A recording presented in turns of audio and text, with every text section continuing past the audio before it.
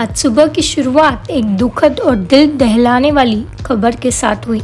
नींद खुलते ही पता चला कि popular show Sara Sarabhai versus Sarabhai fame actress Vaibhavi Upadhyay अब इस दुनिया में नहीं रही। कार एक्सीडेंट में एक्ट्रेस ने जान गंवा दी। एक्ट्रेस की मौत की खबर ने उनके चाहने वालों का दिल तोड़ दिया।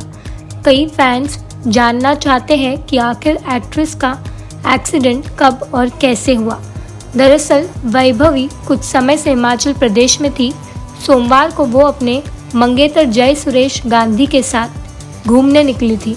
जानकारी के मुताबिक, वैभवी अपने मंगेतर के साथ उनकी फॉर्च्यूनर गाड़ी में थी। दोनों बंजार की तीर्थन घाटी में घूमने के लिए जा रहे थे। उसी दौरान बंजार के पास सिद्धवा में उनकी गाड़ी ने अचानक कंट्रोल खो दिया और फिर गाड़ी सड़क से करीब 50 फुट नीचे गहरी खाई में जा गिरी। डीएसपी बंजार शेर सिंह ने बताया कि दोनों बंजार की तीर्थन घाटी घूमने के लिए आ रहे थे, तभी उनके साथ यह दुर्घटना हुई।